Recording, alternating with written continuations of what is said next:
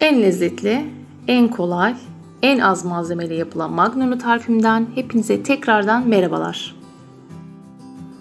Öncelikle tencereme 1 litre sütümü boşalttım. İçine 3 yemek kaşığı nişastamı ilave ediyorum.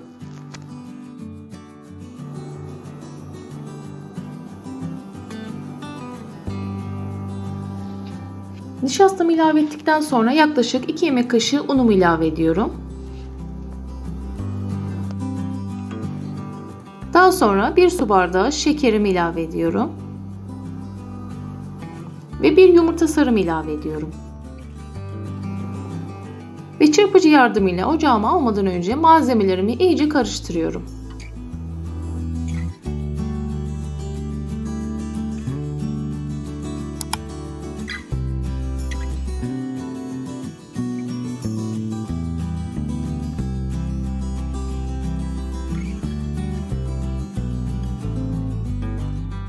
Hazırladığım magnolia malzememi ocağıma aldım ve kaynayana kadar karıştırmaya devam ediyorum. Karıştırmayı asla bırakmamamız gerekiyor. Yoksa topaklanır. O yüzden kaynayana kadar karıştırmaya devam etmemiz gerekiyor.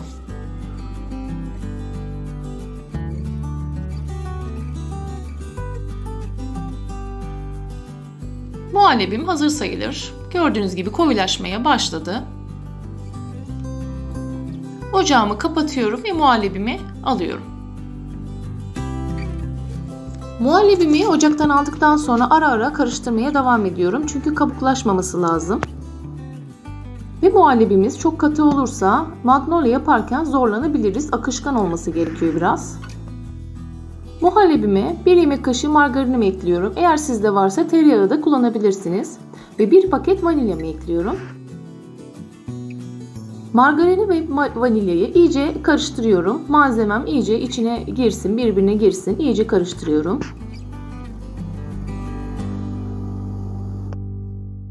Magnolia için hazırladığım muhallebinin kıvamı gerçekten çok güzel oldu. Çok kıvamında oldu. Az malzemeyle krem şanti kullanmadan, krema kullanmadan sizler için bir magnolia hazırlamak istedim. Umarım beğenirsiniz. Her yaş grubundan e, insanlar, arkadaşlar rahatlıkla tüketebilirler. Çok hafif bir sütlü tatlıdır bu. Öncelikle uygun bir bardağımın en alt kısmına muhallebimi koyuyorum. İsterseniz siz ilk önce bisküvi de koyabilirsiniz. Sırası hiç önemli değil. Daha sonra bisküvimi kaşık yardımıyla etrafına eşit bir miktarda yayarak onu da koyuyorum. Ve dilimlemiş olduğum çileklerimi kenar kısımlarına diziyorum. İsterseniz muz da kullanabilirsiniz.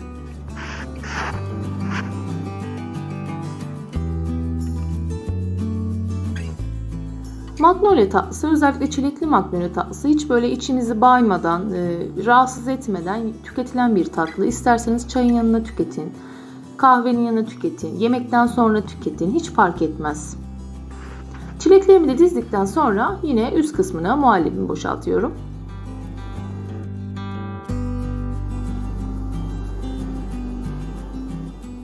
Muhallebim gördüğünüz gibi biraz akışkan. O yüzden muhallebi kendi şeklini kendisi alıyor. Çok hafif elimle sallamam yeterli oluyor.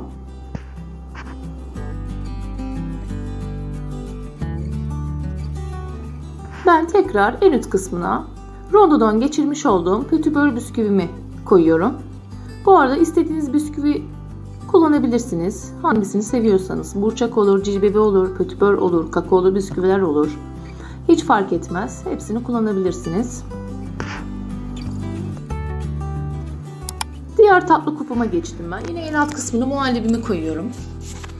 Daha önceki videolarımda muzlu magnolia da yaptım. Kakaolu bisküviden çilekli magnolia da bulunmakta videolarımda. Bir önceki videolarıma göz atabilirsiniz. Kremalı var, e, krem şantili var.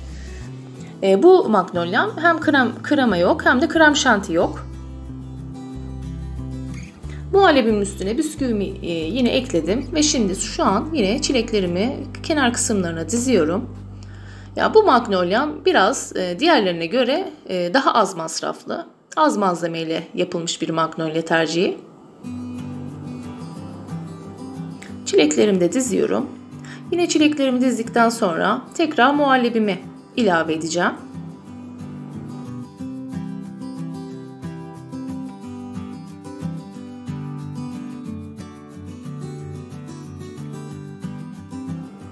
Gördüğünüz gibi elimle hafif sallamam muhallebimin yerleşmesine, dağılmasına yardımcı oluyor. Ve en üst kısma yine e, rondodan geçirdiğim bisküvilerimden ilave ediyorum ve kaşığın arka kısmıyla düzeltiyorum. Diğer kulpuma geçtim. Yine en alt kısma muhallebimi ekliyorum. Bütün kuplarımı göstermemin sebebi sizler daha net e, görün, daha net e, yapabilin diye, daha kolay yapabilin diye. İlk deneme biraz zor oluyor arkadaşlar. Bu e, yerleştirme kısmı biraz sıkıntılı olabiliyor. Şimdi yine çileklerimi yerleştiriyorum.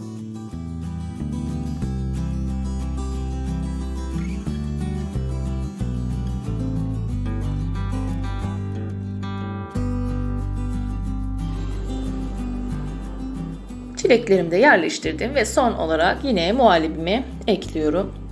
Videomu beğendiyseniz abone olmayı unutmayın. Tamamen ücretsizdir. Bana destek için abone olabilirsiniz. Deneyecek arkadaşlarıma, yapacak arkadaşlarıma da kolaylıklar diliyorum. Gerçekten yapmanızı tavsiye ederim.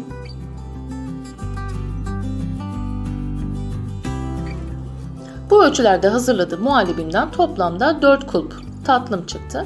Ön kısımlarında dilimlediğim çileklerimle yine süslememi tamamlıyorum. Buzdolabında dinlendirdikten sonra rahatlıkla tüketebilirsiniz. Şimdiden afiyet olsun. Bir sonraki videomda görüşmek üzere. Hoşçakalın ve her zaman sağlıklı kalın.